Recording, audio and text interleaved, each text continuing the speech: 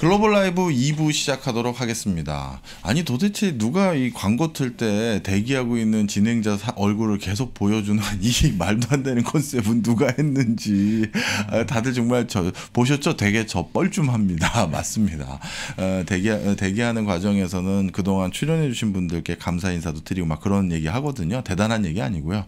자, 제가 지난번에 이분 어, 말씀 듣고 야 이런 미래를 이렇게 확 열려주시는 알려주시는 분이 또 계셨구나. 숨은 고수가 계셨구나 해서 언제 또 나와주시나 했는데 오늘 아침 뉴스 보고 이분 나오셨으면 좋겠다 했는데 마침 딱 나오셨어요. 네.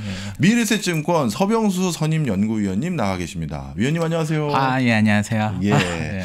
우리 우주를 딱 바라보고 계시는 네. 우리 매니저님, 아, 저 아. 연구, 연구위원님. 네. 오늘 딱 뉴스가 우리나라 또 로켓 쏴 올리는 예. 거 아니겠습니까? 그러니까 뭐 저도 의도한 건 아닌데 딱 겹쳐나 이렇게 어, 나오게 돼서요. 아, 아, 의도하신 게 아니었구나. 아, 전혀 의도한 건 아닙니다. 네, 그래서 그 로켓 올라가는 거 보면서 아 위원님은 또 우주에 대해서 뭐라고 얘기하실까 궁금했었는데 네. 오늘 또 이렇게 나와 주셨네요. 그러니까 뭐 사실 제가 우주를 담당을 완전히 하는 건 아닌데 아니지만, 네, 네. 어떻게 하다 보니 이번에 보고서 쓴 게 됐고 또 이번 예. 이제 삭, 그 누리호 그 삭, 어, 발사 때문에 네. 아무래도 요 내용들을 또 다시 한번 또 점검하면 어떨까 그렇죠. 싶었는데 또 다행히 또그 직전에 이렇게 하게 돼서 저도 개인적으로는 또 좋게 생각하고 있습니다.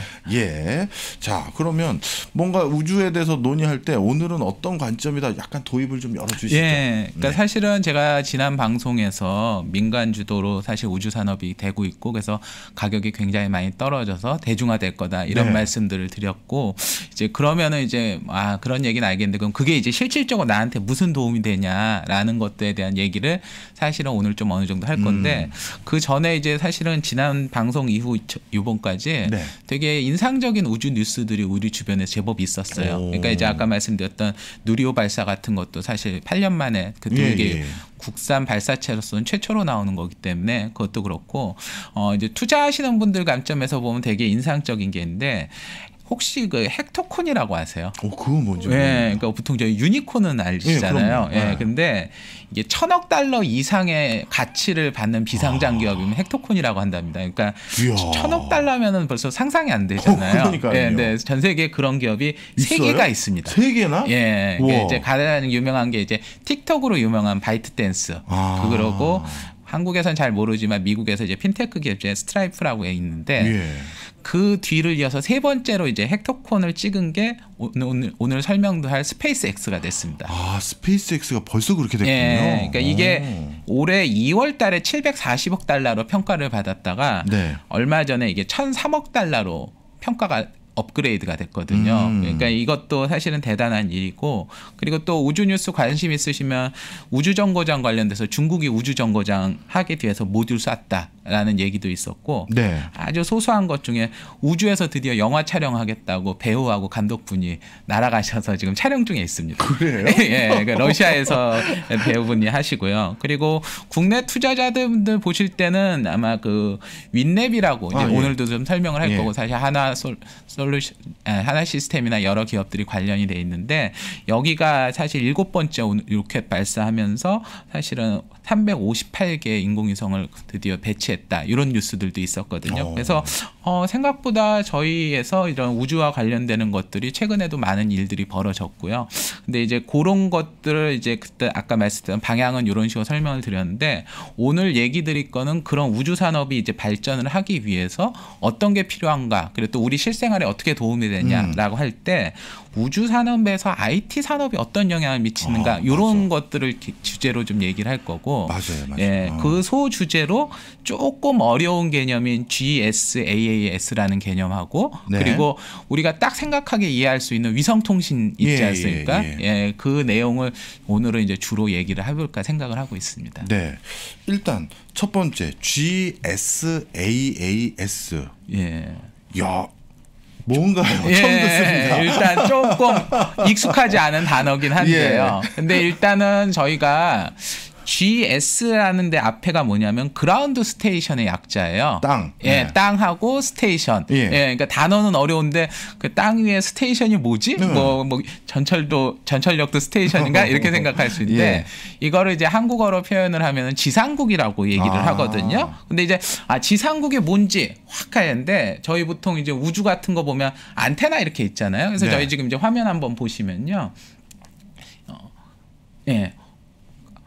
아, 네. 화면 예, 화면 보시면은 이 첫 번째 나오는 그 우주 안테나. 예, 네, 아, 저거. 요거군요. 예, 요게 지상국이라고 보시면 아 이게 됩니다. ground station이 이거군요. 예, 아. 저게 ground station입니다. 그래서 어 보통 이제 우리가 인공위성을 띄우고 뭐 우주선하고 할 때 걔네가 이제 하늘에 떠 있으면 네. 얘네 잘 떠 있는지 좀 봐야 될 거 아닙니까? 그렇죠, 그렇죠. 러니까 얘네 잘 떠 있는지 또 인공위성 같은 경우는 계속 지구 궤도를 도니까 음. 걔네들 잘 하는지 계속 조종하고 컨트롤하려면 밑에서 뭔가 지시를 내려야 그렇죠. 되거든요. 네. 그리고 또 걔네 가 저희 상태가 어떻습니다 하는 거 하면은 그 수신을 받아가지고 아 니네 그런 것들 하고 있구나 하면 여기서 뭐 명령을 내리거나 조절을 할 수도 있는 거고요. 또 이제 인공위성 같은 게 이제 가장 많이 하는 것 중에 뭐냐면은 이제 지상이나 사진 찍거나 뭐 이제 좀 이따 말씀드린 위성 통신 같은 거 할 텐데 그런 것들 사진 찍으면은 그냥 거기다 계속 저장할 수 없잖아요. 네. 메모리 용량에 한계가 있으니까. 예. 그러면 그 데이터들을 지상으로 보내면은 그 지상 보낸 것들을 가지고서 어 저장 박 수신 받고 저장하고 그래서 그것들 가공 처리하고 이런 것들 하는 것들이 아까 지상국이라는 겁니다. 그래서 어 우주 산업을 함에 있어서 사실 저희가 이제 막 로켓을 발사하고 인공위성 쏘고 그걸로만 끝나는 거지만 네. 그 다음에 사실 누가 관리하냐 손은 그렇네. 누가 키우냐 하듯이 아. 인공위성은 누가 관리하냐 그리고 인공에서 나온 데이터들은 누가 보냐 하면 그렇네. 사실 지상국이 하는 거거든요. 그래서 지상국의 업무가 사실 우주 산업에서 되게 중요한 역할을 하게 됩니다. 근데 예. 거기에 이상한 단어인 AAS가 붙죠. 맞아요. 예, 근데 이제 사실 AAS는 그 어디선가 얼핏 들어봤다고 보실 수 있는 게 네. 그 IaaS 뭐 클라우드 관련돼서 뭐 네. SAS, SaaS니 IaaS니 아, 뭐 이런 예, 것들 예. 나오잖아요. 맞아요. 예. 그게 이제 애지어 서비스의 약자거든요. 그러니까 무엇을 서비스로 제공한다라는 네. 건데 그 두 단어가 지금 합쳐진 겁니다. 아 다양한 서비스를 제공하기 위한 지상에 세운 기지 이런 뜻이군요. 아 그런 것보단 네. 지상국이라고 하는 네. 기지 서비스 하는 업무를 아, 서비스로 제공한다는 겁니다. 아, 이해했어요. 예. 서비스로서 예. 지상국을 어, 운영합니다. 예, 그런 거군요. 거죠. 아. 그러니까 이제 정확하게 얘기드리면 예전 에는 지상국을 어떻게 했냐면 로켓 쏘시는 분들이 지상국도 자기가 가지, 관리하거나 아. 운영을 해야 됐습니다. 그러니까 아.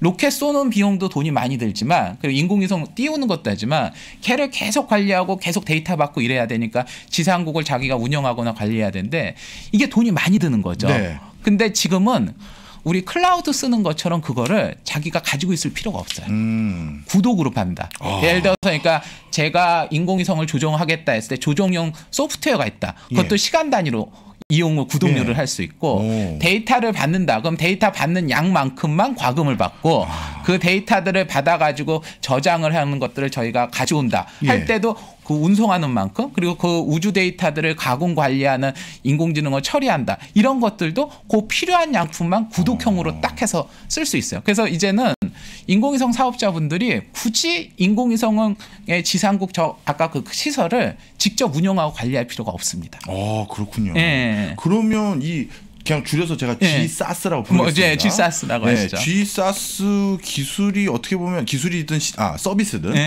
예. 이게 보편적으로 좀 더 적용되면 인공위성 산업이 더 발달되겠네요. 엄청 발단되죠. 그러니까 오. 왜냐면은 굉장히 사용도 편해지고요. 그리고 네. 사실 이제 지상국 할 때 하나 말씀드릴 게 이 인공위성은 제가 워- 지구를 계속 도는데 그 정보를 수신하거나 데이터를 하는 때 그 지상국을 제가 원하는 데다 막 세울 수 없어요. 음. 인공위성 궤도의 위치에 맞춰야 되기 때문에.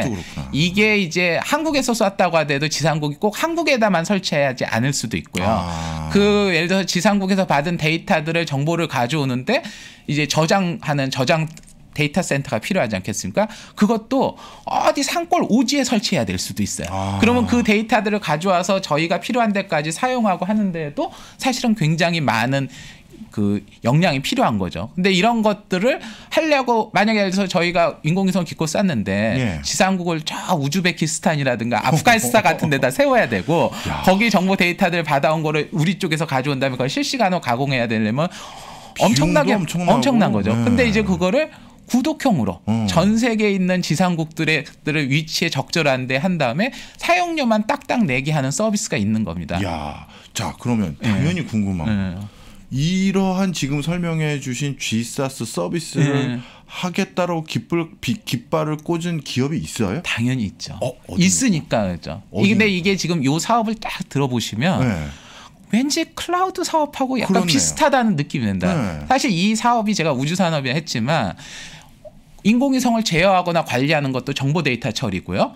거기에서 인공위성 데이터들을 받는 것도 데이터고요. 그 데이터들을 가져오는 것들 이게 전부 클라우드 사업하고 사실상 크게 본질이 다르지 않습니다. 그래서 음. 전 세계 클라우드 이- 서비스를 제공하는 IaaS라고 하는 클라우드 서비스 제공하는 메이저 업체가 네. 이 시장을 들어가 있습니다. 그게 오. 이제 가장 뭐 박정호 교수님도 아시겠지만 그 시장에서 1등 사업자는 아마존이잖아요. 그렇죠. 그래서 그 AWS가 가장 우리나라에서도 유명하고요. 음. 그 다음에 이제 유명한 데가 마이크로소프트 마이크로소프트. Azure고요. 그 다음에 이제 구글인데요. 음. 그 순서대로 어, 똑같이? 예 똑같습니다. 그러니까 아마존이 최초로 이거를 2019년에 AWS Ground Station이라고 하는 서비스를 정식 출시했고요. 이야.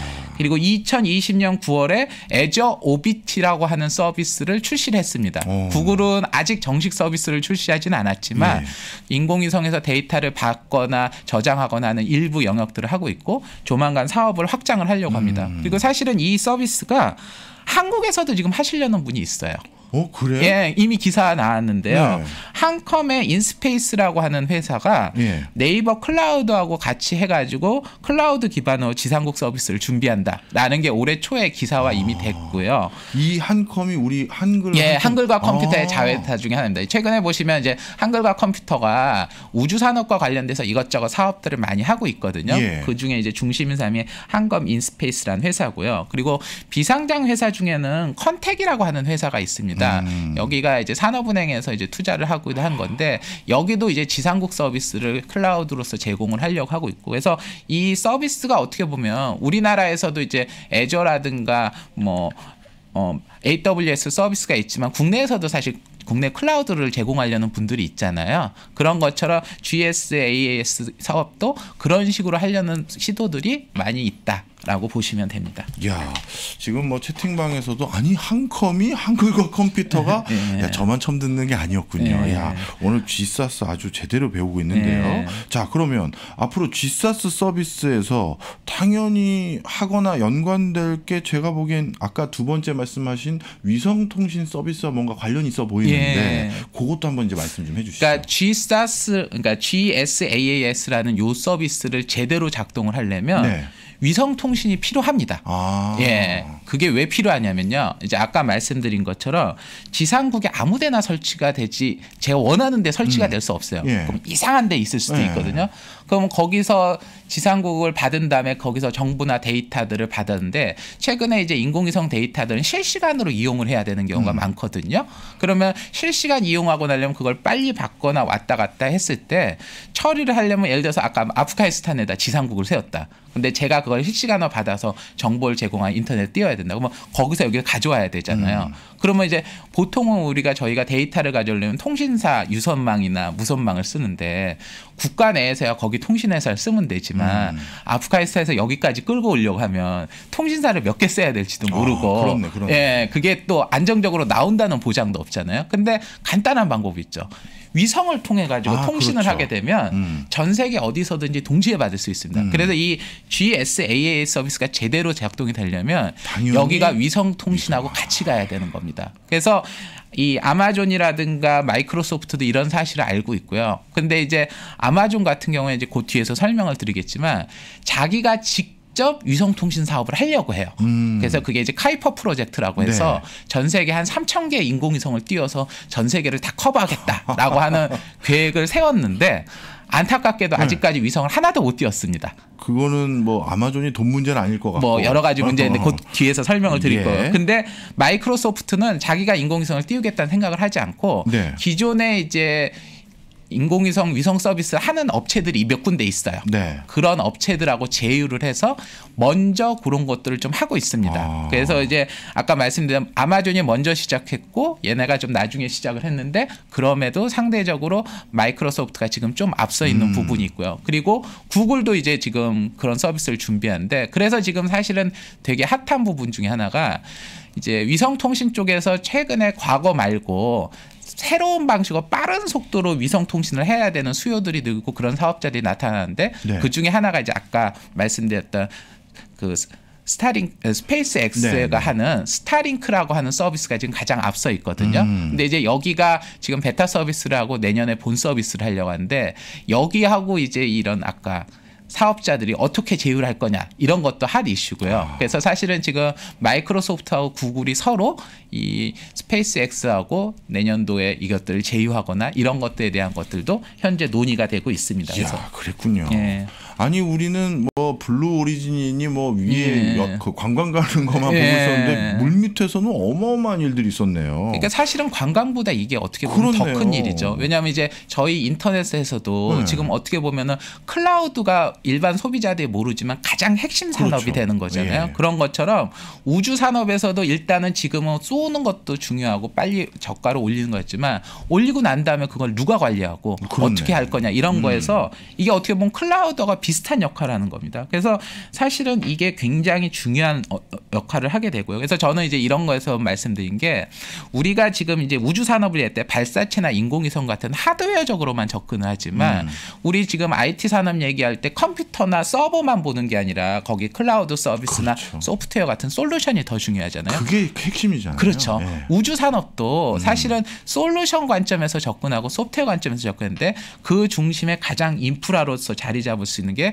GSaaS다. 근데 이 서비스들 지금 클라우드 메이저 사업자들이 장악을 하고 있고 야. 실제로 얘네들은 이거를 굉장히 중요하게 봅니다. 왜냐면은 앞으로 이 클라우드라는 게 결국 데이터를 얼마나 많이 처리하고 이렇게 하느냐는 건데 우주와 관련되는 데이터들이 앞으로 기하급수적으로 늘어날 가능성이 그렇겠죠. 높아요. 예. 그리고 우주 데이터는요. 예.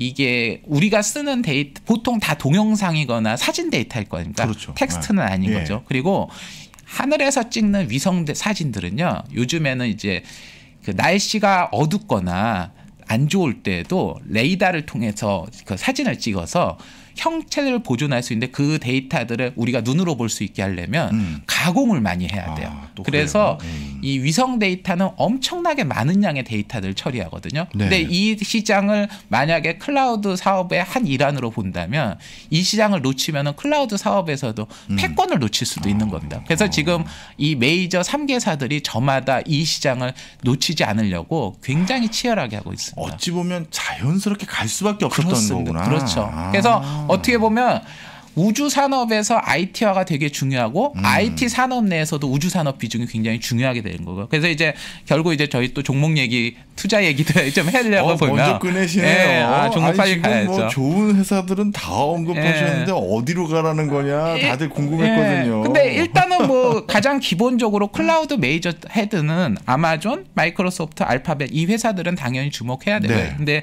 이쪽에서 아까 말씀드린 대로 통신이나 이런 것 때문에 마이크로소프트가 오히려 아마존보다 좀 늦게 음. 시작해서 약간 앞선 부분이 있다라는 거고요.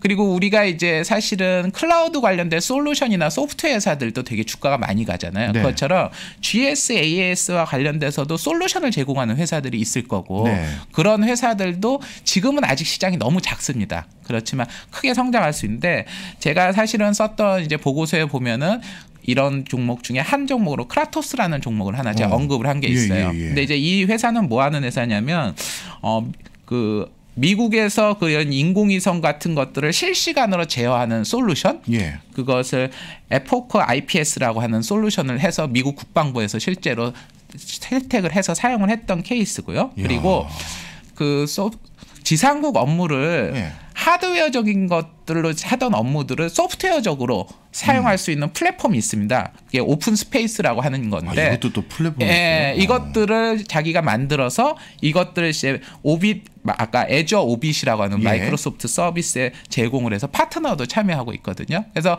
이, 이 회사는 지금은 사실은 제가 적극 추천드리진 않아요. 적자나 여러 위험들이 있긴 하지만 그럼에도 이런 기업들이 앞으로 만약에 우주 산업이 된다면은 지금 소프트웨어 기업들처럼 되게 잘 갈 수도 있습니다. 이야, 알겠습니다. 자, 아까 G사스 얘기하시면서 이 G사스라고 말해도 되는 건지 GSAS라고 하는 게 조금 더 네, 편하긴 그렇겠죠. 예. 네. 어, 이, 이거 말씀 주시면서 자연스럽게 우리 위성통신 얘기 주셨잖아요. 그렇죠. 예. 이 위성통신은 당연히 기존 위성 어, 무선 통신과는 달리 이제 인공위성을 활용하는 것일 그렇죠. 텐데 네.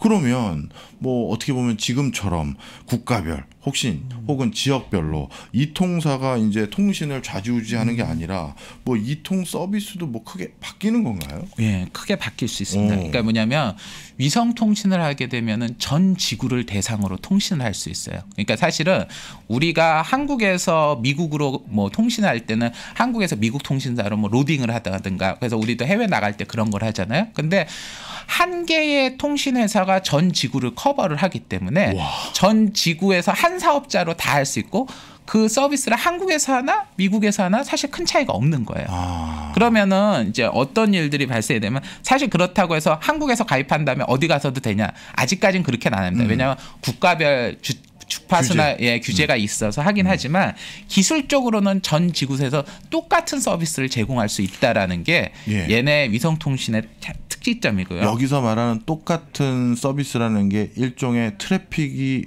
다 똑같다는 거의 같았 오. 같게 됩니다. 물론 네. 이제 지역별 날씨 같은 것들에 의해서 음, 이 주파수나 이게 약간 영향은 받긴 하지만 거의 상관이 없고요. 그리고 여기가 또 장점이 되는 게 뭐냐면 그렇게 전 지역적으로 되기 때문에 사실 한국에서는 별 문제가 안 되는데 그 한국에서도 예를 들어서 산골 같은 데나 뭐 미국에서 사막 같은 데 이런 데는 집이 한 군데나 사람 한, 군, 한 명씩 가끔 있으니까 네.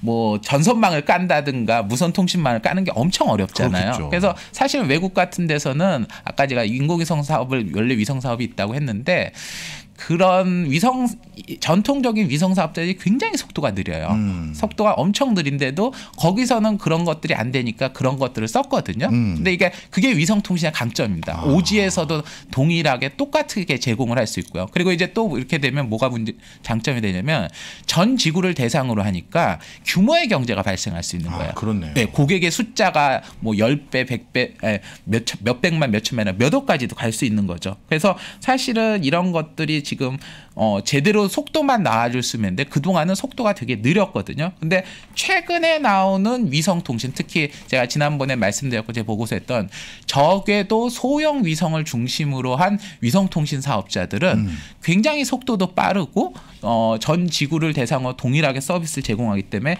이게 지금 굉장히 혁신적으로 나오고 있고요. 그래서 얘네들의 속도가 이전의 위성통신 사업자하고는 전혀 다를 정도가 됩니다. 오. 그래서 한번 화면을 두 번째 지금 화면 제가 한번 보여드 리려고 하는데요. 네. 사실은 이제 그 위, 위성 통신을 얘기했을 때는 스타링크를 얘기를 안 할 수가 없어요. 네. 왜냐하면 스타링크가 지금 현재 가장 앞선 사업자거든요. 근데 이제 여기 보시면은 그 밑에가 전통적인 위성 통신 사업자입니다. 예. 이게 이제 보통 우리가 인터넷 속도 얘기했을 때 저희가 일반적으로 쓰는 것들은 거의 대부분 100mbps급이라고 보시면 돼요. 그래서 네. 저 위에 빨간색이 전통적인 위성 아, 일반 초고속 통신 우리 하는 정도고 100메가에서 120메가bps 나오는데 예전에 지금 일반 위성 통신 사업자들은 지금도 20메가bps밖에 안 나옵니다. 음. 근데 스타링크 같은 경우에 지금 올해 북미에서 저 속도를 측정한 건데 이제 60메가bps에서 70메가 왔다가 지금 올해 한 몇 개월 사이, 3, 4월 사이에 갑자기 점핑하면서 100메가bps급이 나왔죠. 네. 그러니까 이제 북미 전역에서는 지금 거의 100메가bps급이 나옵니다. 음. 근데 이게 이제 북미만의 얘기 아니라 거의 전 지역이 거의 비슷하게 나오고 있는 거죠. 네. 그래서 이제 스타 스타링크 정도 를 쓰게 되면은 오지에서도 이 도심과 비슷한 정도의 인터넷을 쓸 수 있게 되는 겁니다. 음. 대박이네요. 예, 근데 문제는 저게 100메가가 문제가 아니라 저거보다 10배까지 더 늘어날 수 있어요. 그러니까 위성의 개수가 늘어나면은 그만큼 통신 속도가 훨씬 더 빨라집니다. 네. 근데 지금 이제 뒤에 가서 말씀드리겠지만 스타링크가 지금 생각하는 것 지금 현재 발사된 것보다 10배 이상도 위성을 더 늘리겠다고 얘기를 하거든요. 10배 이상이요? 예. 네. 그렇기 때문에 속도가 이론적으로 1기가 bps까지 갈 수 있습니다. 그러면 지금 우리가 100메가 bps보다 10배 이상의 속도를 그렇네요. 인공위성으로 전 지구상에서 할 수 있고 오지나 이런 데 상관없이 할 수 있다. 이런 일이 되면은 굉장히 많은 일들이 벌어질 수 있게 되는 겁니다. 야 심장병 관련한 약도 많이 팔릴 것 같아요. 왜냐하면 예. 클릭을 했는데 벌써 떠. 깜짝 놀라가지고. 그럴 수도 있겠네요. 아, 그것까지 제가 생각을 못 했습니다. 예, 그럼 스타링크도 저 예. 주목해야 돼. 야 오늘 뭐 끝이 없을 것 같은데 예. 약간 한두 개 회사 더 좀 소개를 시켜주시죠. 예, 그러니까 그 전에 이제 위성 통신이 그러면 속도만 좋냐라고 하는데 네. 위성 통신이 가지는 특성 때문에 가질 수 있는 다른 통신하고 차별화되는 게 있어요. 뭐냐면 아까 말한 오지나 항공기 뭐 이런 데들도 할 수 있는데 네. 그보다 더 좋은 건 뭐냐면 전 세계를 대상으로 업무를 추진해야 되는 어떤 조직이나 음. 기관이 있다면은 있겠죠. 예 네. 그런 데는 자 이 단순히 속도만의 문제가 아니라 이 한 군데를 쓰는 게 굉장히 효율화가 됩니다. 그래서 제가 한 한 네 개 정도 케이스를 아주 간단히 들으려는데 네. 첫째는 군대 중에 한국군은 뭐 전 세계를 대상하지만 미군이나 뭐 중공이나 이런 데는 국가를 넘어서서 활동을 하잖아요. 네. 미군이 아프가니스탄이라든가 뭐 예를 들어서 마- 뭐 이라크라든가 이런 데서 작전 활동을 해야 되는데 최근에 모든 군사 활동들은 클라우드로 실시간 연동을 해서 현장에 있는 애들을 중앙에서 다 처리를 하고 무인 항공기 같은 거나 무인 화물선을 국- 국제로 왔다 갔다 할 때도 필요하고요. 그리고 글로벌 공급망을 가진 업체들이 지금 이제 실시간으로 얘네가 어디에 있고 위치가 어디에 있고 그리고 이동 경로가 어떻게 되는 것들을 다 파악하는 것도 단일 통신 회사를 쓸 수 있고요. 음. 사실 제가 오늘 하고 싶은 것 중에 하나는 자율주행 자동차 테슬라와 관련되는 얘기도 좀 어, 하고 싶었어요. 네. 뭐냐면 테슬라가 이제 OTA라고 해가지고 차량 제어 소프트웨어를 업데이트하고 하잖아요. 근데 지금 이제 각 지역별 통신사마다 하는데 이런 자, 자동차 판매를 전 세계를 대상으로 차, 차를 팔고 있지 않습니까?